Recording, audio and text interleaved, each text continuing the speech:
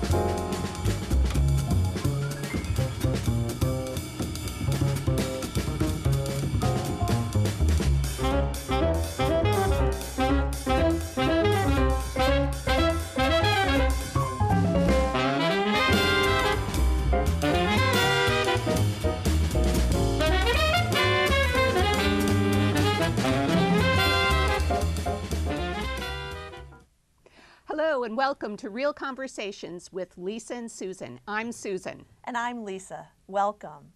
Today we're going to be talking about developing a strategy so that you can get the edge on your competition out in the workforce, in the business world, wherever you want to be. You know, when preparing for the show, Susan and I were talking about how it seems like there's so much more uh, competition for everything, whether it's getting a promotion, getting a job, or even starting It's- your own it's business. dog eat dog out there. Yeah, and it's uh, one of those things where you know one of the things I specialize in is communication, and it's so critical to be able to uh, communicate effectively about what you do and how you do it. But there's also a whole lot of other strategies um, and ideas for how to get the edge, whether it's uh, you know helping your child in school get the edge, or whether it's a career move, or even you know starting a business and getting the edge over your competition. Yeah. So how do you do it and like where do you begin? And today we're going to be talking about that. Yeah, so we have two terrific guests who uh, have a very a long history with uh, this topic and, and helping people with that. So we'll be back in just a couple of moments with our two wonderful guests.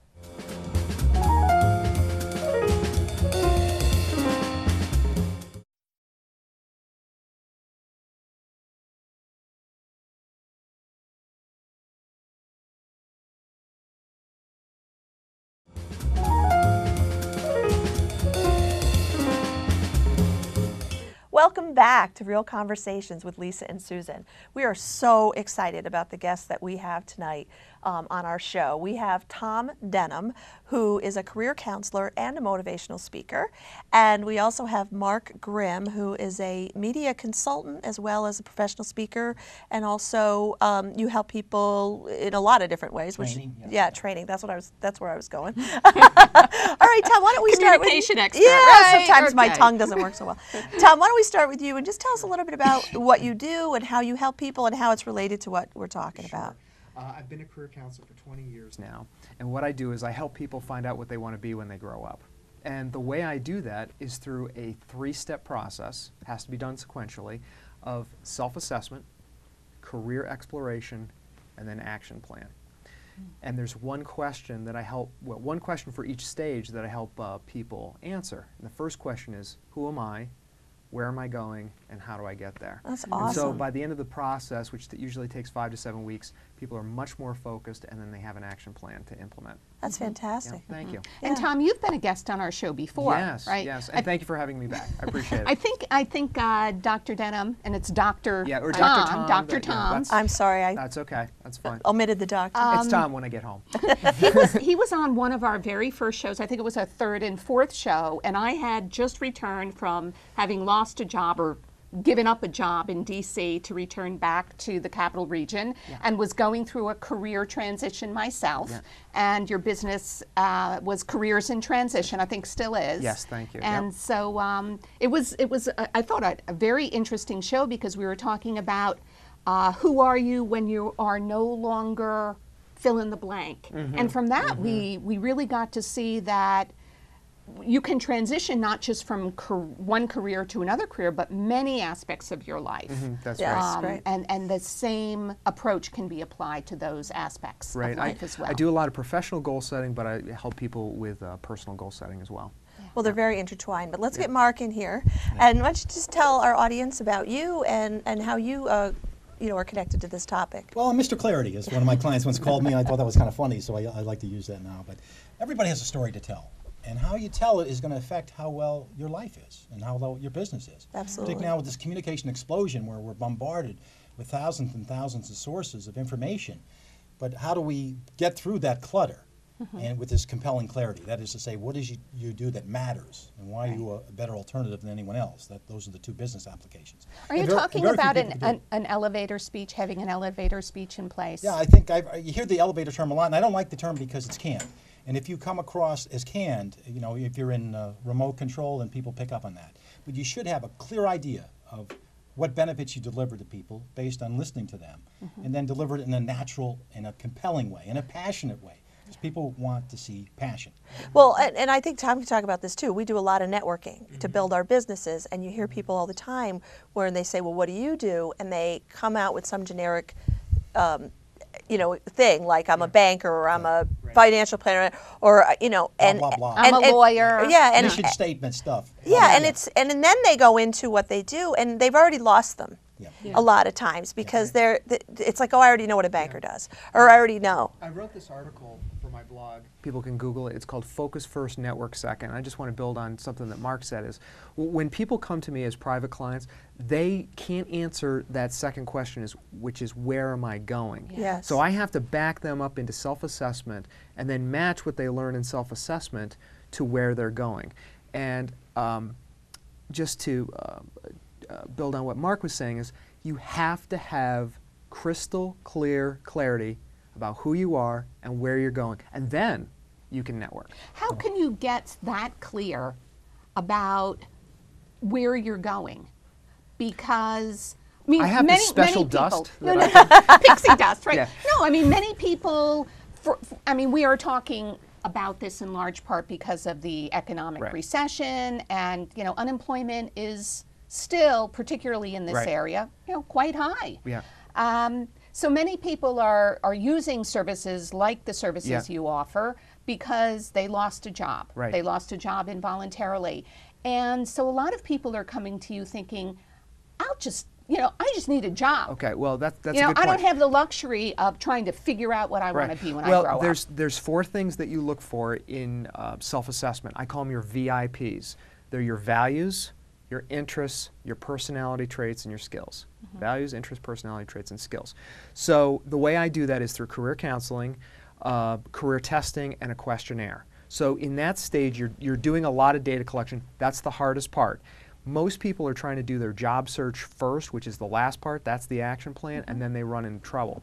So when you do adequate self-assessment, which can be painful and hard and difficult, Or fun and challenging or and fun, exciting. depending upon your attitude. it- Uh, but but what happens is when you go into the career exploration, then you have to prioritize the types of jobs. So the, the first choice job is your ideal job. The second choice is your backup plan, and then third choice is the survival job. Mm-hmm. So you have ideal, good enough job, and rock bottom job. So when somebody's been unemployed for like six months, mm-hmm. they're going to go for rock bottom because they can't, they simply can't get ideal. But again, going back to Mark's point, you have to have clarity on what these things are. So you're not in the rock bottom job for the next 10 years. I You're think moving one of forward. the, and, and Mark, I'm gonna let you come in next, but uh, the, one of the things, I said that like I'm in control. Isn't that cool? are in control, You're the One of the things, though, that I think is so counterintuitive, but is so important, is the more focused you are, the more likely you are to get what you want. If you say, hmm. w- for example, when I first started my business, and people would say, "Well, who's a good referral for you?" and I'd say, "Well, anybody who." Nobody was giving me referrals, but now that I say I work with managers and supervisors uh, on effective communication, I get so many more referrals because I'm specifically telling people what to look for. Don't you think that's accurate? And How do you hit a target if you don't know what it is? That's right. That's what, what yeah. Tom is talking about is identifying target. And once you know what it is, then you have to make your case. And every time you open your mouth, You're making a you're making a speech. That's uh-huh. right. So it, it communication is this binary process, and it's not about you; it's about them. That's why I wrote my book on public speaking because I didn't see any ones that I really thought focused on the audience. It's all about well, what am I going to say? What am I going to That's wear? right. Stop right there. What the first question whenever you give a speech is what does the audience want? Have you asked them? Have you defined that clearly? And then when you start, you say, "You told me you wanted A, B, and C. What do you know?" The presentation today is A, B, and C. And if you don't get it, you tell everyone Mark Grimm is Mm-hmm. a lousy speaker because it's about delivering value and then asking them when you when you're done, did they get that value? And that's more that's important wherever you're speaking. I mean, it doesn't have to be a, uh, an official presentation, but if you're going for a job interview, the, the, everybody listens through what's in it for them, mm-hmm. you know, or what, how mm-hmm. does this apply to me, or mm-hmm. you know, w- where do I fit in? Like that's people are listening through their concerns.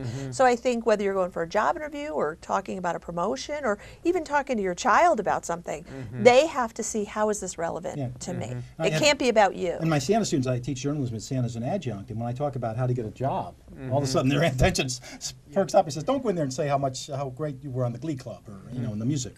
They research the company, say, "Look, it, I understand you want A, B, and C. I can deliver A, B, and C, and here's the proof."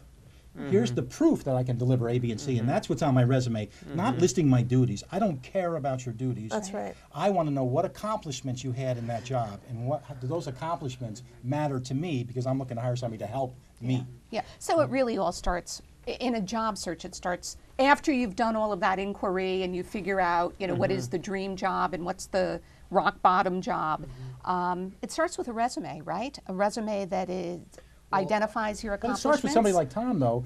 People don't know what Yeah. to do, Tom. They need Yeah. your expertise. I mean, that's no, value. but no, I, mean, just really, said that once they've done all, lost. once they've done all of the work Right. and have gotten to the point where okay, Right. now I, I know what I want. Right. So, um, thank you, Mark, Yeah. for the No, validation. it is. It is because And you because know I tell people suggesting that they I'm, don't need They don't it. get I'm just value, a, they don't know what it is. I'm just a job coach. Yeah. Um, but I don't think you can win by yourself. I'm telling people, you know, you've got to have somebody on your dream team, and I consider myself the head captain. But you've got to have 10, uh, nine other people on the dream team as assistant coaches, and I need some help here. And I tell people, don't do your job search by yourself. But what you what you're talking about is the mechanics of the job search. That's stage three, and in the action plan, you can either do a job search, go back to school, or start a business. Those are your three options. So when it comes to the mechanics, you've, you're talking about a resume, cover letter, interview skills, job uh, job search strategies, uh, evaluating job offers, network, uh, and evaluating uh, salary, and the number one job search strategy. I really want to make this point. Is networking. Yes. And most people are doing their job searches all wrong. They're doing them uh, through career fairs, uh, classifieds, and through the internet. Those you can you, sh- you can and should do, but most people are spending the majority of their time doing that, and most jobs are never advertised. And people should spend 80% of their time networking. Mm-hmm. How do you get the cutting edge in your networking strategy? Well, there are a couple things that come to mind. First of all, I would encourage everyone that is watching this show to get a LinkedIn account. Mm-hmm. So I love LinkedIn. LinkedIn uh, is How useful really is it? fantastic, I think. And it's I consider it the Facebook for professionals. So I will talk to people and they'll say, "Well, I have 500 friends in Facebook," but then they don't even have a LinkedIn account. Right. So you know, going back going back to image, that is your brand. That is what you are putting out there. Um, I use it in a variety of ways. Um, it, it's kind of like collecting business cards, or you know, when I was a kid, I collected baseball cards. The more uh, people you have in LinkedIn, um, the better of a safety net that you're going to have. And there's so many ways to use it that I think people So aren't many- even uh, right. aware of. But And, I- and we're all wondering, what should I be in? Facebook and LinkedIn and Twitter. I get those questions all the time. I say, be on them all. You want to be wherever potential prospects or customers or, or, or friends or whatever relationships you're trying to build are. And then, you know, but have a consistent message on all of them. Right. And saying, you know, you know, if you're an expert, deliver value. This is some expertise. Here's here's five great tips on writing a press release from somebody who's a former TV anchor. You know, those are the things that are going to get read because they deliver value. Right. Yeah. Integrate them and across that goes the back platforms. i'm sorry but that Yeah. goes back to what you were saying is it's not go up there and show how great you are it's go up there and provide value and then you stand out and i think mm-hmm. that answers your question about networking is you mm-hmm. look to provide value mm-hmm. like how can you provide value I think if this recession has taught us one thing, there is very, very little job security. And the job security that is out there is what you have to create. Now, Mark and I, we have our own businesses, so and and um, uh, so we we can't be downsized. Uh, I talked That's to my I job ta- security I talked to my boss Yeah. last yesterday. and He said oh, I was doing fine. Being fine. valuable is the most job Yeah. security. Bringing value to people. That's Because right. there's- If there's, you deliver value, there's going to be a market for that. But you have That's to, right. you have to sell and, it. and I think people have to be CEOs of themselves, but they first have to define what their product is. Yes. And so when you're going to build a Facebook page or a LinkedIn account, you have to decide who am I? It goes back to self assessment. Who am I? What is my product? What is my added value? What kind of a SME, a subject matter expert, do I want to put myself out there as? And everybody is that. And I think a lot of times people don't value it. They're they're kind of all over the place. I want to go back to what you said about you being Mr. Clarity. How do you uh, see that role that you have? And what does that mean? Yeah. Well, what is clarity? Because I'd like to I get some of that because uh, we know what the lack of clarity is. When you ask somebody what they do, three and a half minutes later they're still talking, and you don't have a clue what they're talking about. Right. Because people talk about uh, what they care. Like there was a TV show one time, and they asked, "What's your business doing?" He says, "We make sodium nitrites, and we split these sodium nitrites into nit-" I thought to myself, "Well, yeah, stop." That's not what you do. You deliver benefits that matter. So that's what they have to think about first: is what benefits you do that matter to people. It doesn't matter that you know all the intricacies of how you do your job. Nobody cares about that. Mm-hmm. So keep peeling away the onion, and that's what, as I call it, peel away the onion and get to these core benefits.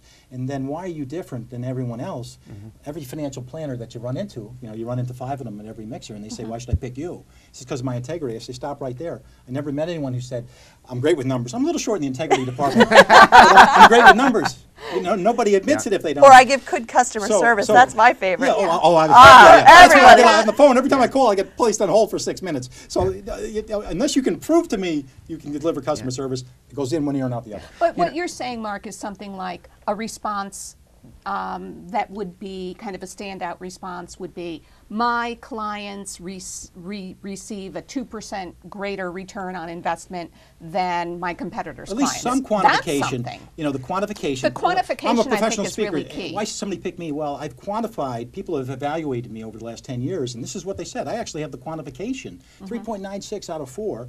But then the testimonials, which are the personal story, Right. putting Yeah. a human Yeah. face, Right. and all of those are on my website. So don't listen to me. Here's the evidence. So Yeah. getting back to your Yeah. comment about LinkedIn, I mean, there's there's an allowance on LinkedIn to ask for what is that uh, Recommendations. recommendations or ratings or something like that. Yeah, So that's really key Uh, I, too. I love LinkedIn. I just want to point out something with, with Mark here. I think it's great that we're doing a show with Dr. Tom and Mr. Clarity because I, I, if I had a magic wand and there was one thing I wanted to give my clients, it would be clarity. Because if you do not have a focus, if you do not have clarity, you cannot achieve your goals. And Mark said it perfectly. He said you have to know what the target is in order to hit the bullseye. That's right. And most people are going through life, they don't know what their personal goals are, they don't know what their professional goals are. Once I help a client get that clarity, then I can develop an action plan to help them get there in their personal and professional life. Then I have to motivate them to actually implement that plan. Mm-hmm. But to go through life and not know what your purpose is or what you want to achieve, and then you wake up and you're 55 years old and you feel very frustrated because you have missed the boat. I think that's why I get up in the morning because I want to prevent more of that kind of thing. Well, and I think too, you know, this whole concept of clarity. I mean, I have said in my speeches for years, a confused mind does not act. Mm-hmm. You know, when people say they're stuck, they're it's because they're confused. They don't. They they That's- lack that clarity. And when you're confused, or you are distracted, or you're multitasking, or in your mind you've got head clutter or head trash, it's very de energizing. yeah. because you're draining. Mm-hmm. going off in a million different directions. You can't focus, and then you can't realize the potential that you you so often could Okay, have. Okay, so what do people do? Someone's uh, been fired from their job. They're 50 years old. They're despondent. They're scared. They're lost. I mean, you can't just say, you know, get clear about what you want to do. right, You got- there there's, has to be there's a, a, process yes, there that yeah, you've got to yeah, work that's- through. yeah, Sometimes and- you get the push, though. Yeah. I mean, I've been fired from jobs. I was in TV news, and it really makes you uh, uh, size up where you where you want your life to be. Mm-hmm. And that's the big question here: is what's going to make you happy? It's a wake-up call Because you can't Yeah. answer any of these other things until you determine what makes you happy. Right. And once you see it, okay, I'm going to do what it takes to get happy. good career counseling is really asking a series of questions. Mm-hmm. So the questions are, who are you? Where are you going? Where do you want to be in five years? If you only had 10 years left to live, what would you do? What has been your most significant personal and professional accomplishment up to this point? How would you know if your life was a total success? These are very difficult questions, and I have them all outlined on a 28 page questionnaire, which is very challenging to do. I've never had one client that said it was easy to do. As a matter of fact, I had somebody just last night, and she took hours and hours and hours to do this, and she said it was very painful, uh, but she learned a lot about herself. Most people are just not simply self So do you think, and Tom, you had mentioned get a team of 10 people around you Right.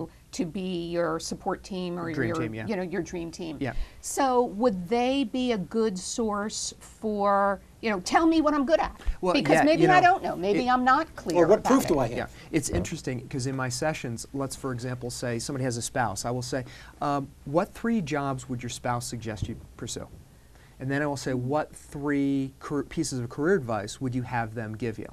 And then I will say, what will your best friend do? And then in the questionnaire, I will say, li- list three advisors, what three jobs and what three pieces of career advice. Mm-hmm. So if there's a pattern, they keep saying the same thing, and sometimes people will say, you know, off-center things. Mm-hmm. But if they keep saying the same thing, that's good data. But you mm-hmm. have to couple that with the career counseling, with standardized career testing, uh, and the questionnaire. So there's there's no magical formula to this, but you're constant in that first stage. You're trying to data collect. Yeah, you're you're right. It, you can't say, oh, you need to get clarity. Yes, it's obvious. You need to do that. But the question is, how do you do that? Can I, can I talk a little bit about media because we haven't talked a lot about that because part of getting your message out is understanding the media. When I and I was a TV anchor for a long time, I, I think I understand the way they think. But the 21st century will be a lot about getting news from each other, and that the traditional media will not have the role hmm. in the 21st century that it had in the 20th century. It simply won't because we have the we ins- we have institutionalized this mass communication, and that's why clarity is so important because we're all journalists every time we hit the Facebook button. That's right. So we build networks, we build a, an audience based on a, on a scientific way, in the way Tom Denham does. But we also have to understand, as journalists, we have to understand value and delivering value in a clear, compelling way. And, uh, and also be involved with the media too. Uh, hit all of these things, traditional media, social media, make sure you're clear and understand this broad, this, this exploded platform of how people get information. So you're actually saying that anyone can can create a blog and use Absolutely. that blog Yeah. to develop their expertise Right. and get the word out about their expertise. Why, why, sh- why should I rely on the Times Union to put my column in their paper? Mm-hmm. Yeah. Who, who are they? I have a blog myself, and I can post it, and if it's interesting writing, and people will read Right. it. So why should we depend on them as gatekeepers? Now the question is, why do we need to do this in the first place? Yeah. Why do we have to get our message out? Why do we have to have Facebook and Twitter and LinkedIn? Because it's a dog eat dog world. Well, the thing is, because there is no you have to get the edge. because there is no or very little job security, you've got to create that own security yourself by creating your own brand, becoming a subject matter expert, becoming a CEO, defining who you are, and then building your network. That's right. So if you are downsized or laid off, you're going to go to your LinkedIn. The problem with most job seekers today that have been unemployed for at least six months is they don't have a network, they uh, uh, didn't nurture the network if they did. Uh, they don't value networking, and they're spending most of their time doing an internet job search. And there's a lot of people who think they're they ha- they're in it themselves. They have to do it alone. That's right. You know that that if they try to uh, you know get help in getting a job or whatever, they feel that The- they failed because they you know didn't get. The uh, number one reason why people don't give to nonprofits is they were never asked. So when you're doing a job search, if you've been unemployed for six months, you might be um, unwilling to say, "Yeah, I've been unemployed for six months." You're, you're, you're, you're reluctant to ask for help, and that's exactly what you're supposed to be doing: is asking people Yeah, for help. yeah. But what's interesting is this all goes back to what we were saying about clarity. Is I've had I have a lot of people who come to me and say they're you know they've lost a job because they know I have a very large network and you know and, and I'll say great send me your resume or tell me what you're looking for, and so many of them can't Yeah, tell me what can't they're looking for or it's so general and I try to get them Yeah. to be more mm-hmm. specific. Yeah. Yeah. The people who have said to me I'm looking for X Y Z nine times out of ten I can help them or link them with somebody Yeah. who can help right. them, Yeah, that- and that's why that clarity is so important. Well, I had a friend one time, he said, uh, all these people that he knows, he considers his ambassadors. That's great. I thought that was a great line. I They love speak that. up for them. But, because we all say, oh, the value of word of mouth. Well, you push word of mouth along. You have to educate all these people that want to help you. And some of them are your family and your friends. They love you, for God's Mm-hmm. sakes. But you have to say, I don't want people asking my brother, what does Mark do? And says, oh, I don't know, something in PR or something. No, no, no, no, no.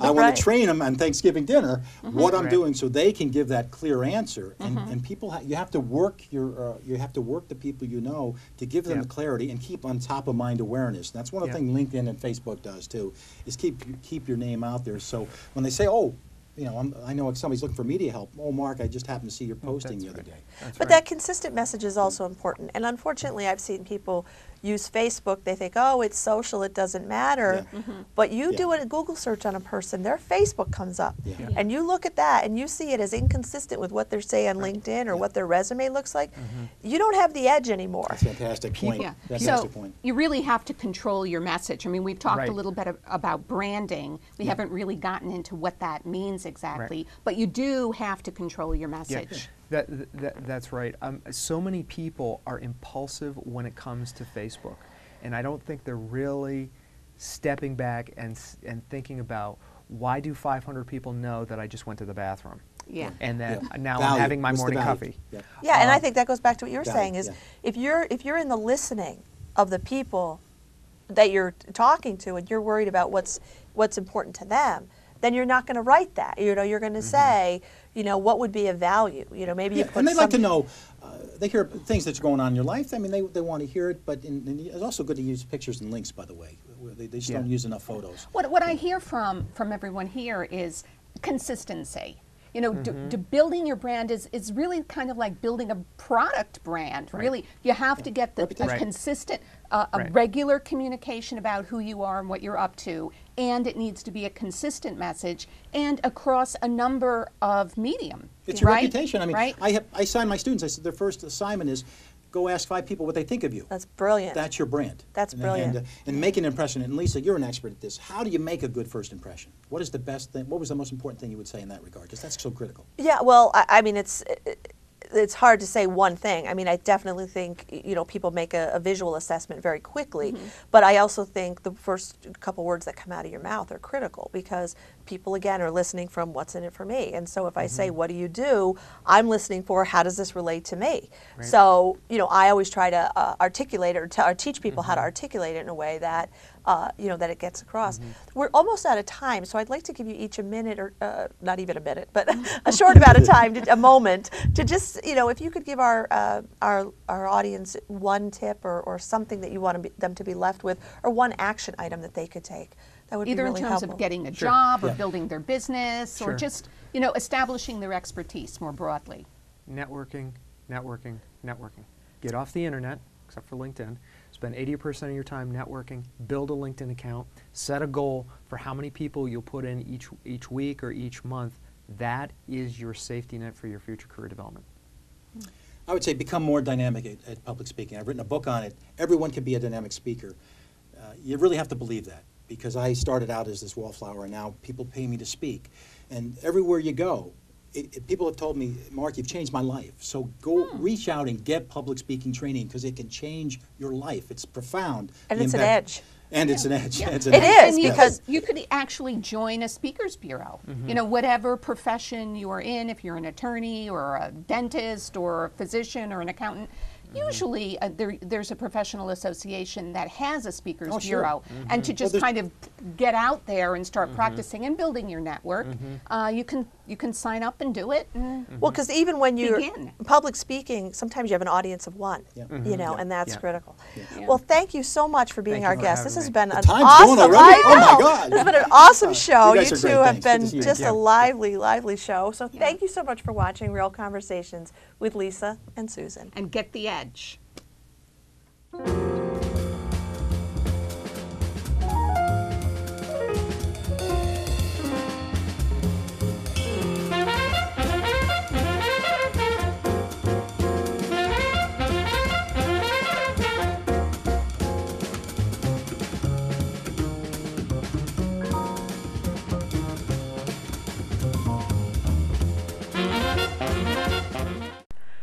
Welcome to Channel 17, the Town of Colonie Government Channel.